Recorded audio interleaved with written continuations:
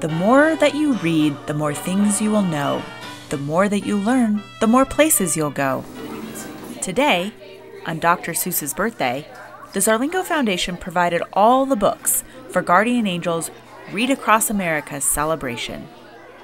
One of the biggest highlights of the day was the book tasting in the Book Cafe. We're doing a cafe, and it doesn't mean we're doing actually a cafe. We're um, seeing books and we're tasting them, but that doesn't mean we're actually tasting them. We're looking at the books. That means we could see the books and we might like one of the books, so we could read in the future that book we like. We're also like testing books to see if we could get some tomorrow for the library. You've got brains in your head. You have feet in your shoes.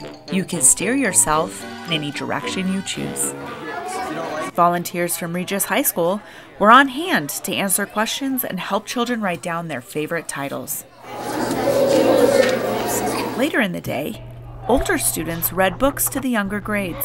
But a few hours later, Trixie realized something.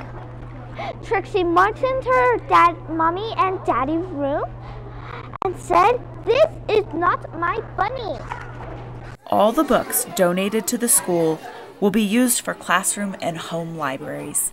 Congratulations! Today is your day. You're off to great places. You're off and away.